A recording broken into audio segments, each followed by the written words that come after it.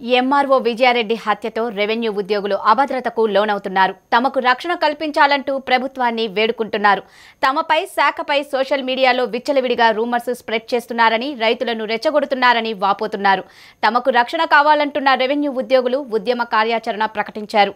Revenue ఉద్యోగుల పోరాటానికి RTC కార్మికుల మద్దతు ఉంటుందని స్పష్టం చేశారు. అన్ని ఉద్యోగ సంఘాలను ఏకం చేసి తమ డిమాండ్లను సాధించుకుంటామన్నారు.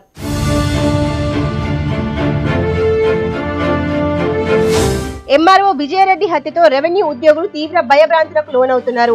పట్టపగలు ప్రభుత్వ ఆఫీసులోనే విజయారెడ్డి హత్యకు గురి కావడంతో అభద్రతకు గురవుతున్నారు. తమ సమస్యను ప్రభుత్వ దృష్టికి చేరేలా కార్యాచరణ ప్రకటించారు.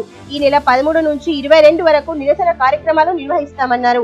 రెవెన్యూ ఉద్యోగులకు రక్షణ కల్పించాలనే డిమాండ్తో ఈ నెల పదమూడు పద్నాలుగు తేదీల్లో పెన్ డౌన్ చేయాలని నిర్ణయించారు.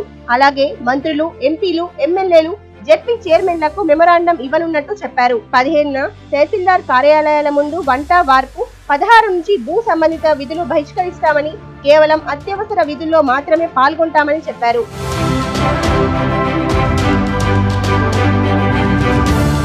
హైదరాబాద్లోని సుందరయ్య విజ్ఞాన కేంద్రంలో ఉపాధ్యాయ ఉద్యోగ కార్మిక పెన్షనర్లు సిపిఎస్ సంఘాలతో రౌండ్ టేబుల్ సమావేశం నిర్వహించారు. తహసీల్దార్ విజయారెడ్డి సజీవ దహనం తర్వాతి పరిణామాలపై ఈ సమావేశంలో చర్చించారు. సమావేశానికి తెలంగాణ రెవెన్యూ జేఏసీ నాయకులు వి లచ్చిరెడ్డి అధ్యక్షత వహించారు. రెవెన్యూ ఉద్యోగులు నిత్యం ప్రజలతో మమేకమై పనిచేయాల్సి ఉంటుందని కానీ విజయారెడ్డి హత్య తర్వాత ప్రజల వద్దకు స్వేచ్ఛగా వెళ్ళి పనిచేసే పరిస్థితి లేదన్నారు. ఎంతో చరిత్ర కలిగి నిత్యం ప్రజలతో మమేకమై ఉండే రెవెన్యూ శాఖను నిర్వీర్యం చేస్తున్నారని అన్నారు.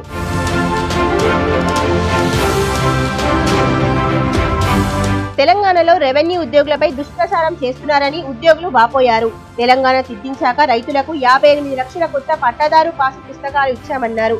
రెవెన్యూ ఉద్యోగులు ప్రజలకు శత్రువుగా ప్రచారం చేస్తున్నారని ఆవేదన వ్యక్తం చేస్తున్నారు. చట్టాల్లో ఉన్న గందరగోళం సాఫ్ట్వేర్లో సాంకేతిక లోపాలు ఉద్యోగుల కొరత వల్లనే ఎక్కువ భూ సమస్యలు వస్తున్నాయని తెలిపారు. అరవై ఏళ్ళ సమైక్యాంధ్ర పాలనలోనూ పడనన్ని కష్టాలు ఈ ఆరేళ్ళ తెలంగాణ రాష్ట్రంలో పడుతున్నామని రెవెన్యూ ఉద్యోగులు ఆవేదన వ్యక్తం చేశారు. రెవెన్యూ ఉద్యోగుల పోరాటానికి ఆర్టీసీ కార్మికులు మద్దతు ఉంటుందని స్పష్టం చేశారు. ఇరవై ఆరు మంది ఆర్టీసీ కార్మికులు మరణిస్తే ముఖ్యమంత్రి కనీసం సానుభూతి తెలపలేదని అన్నారు. అన్ని ఉద్యోగ సంఘాలను ఏకం చేసి తమ డిమాండ్లను పరిష్కరించుకుంటామని రెవెన్యూ ఉద్యోగులు ముక్త కంఠంతో తెలిపారు.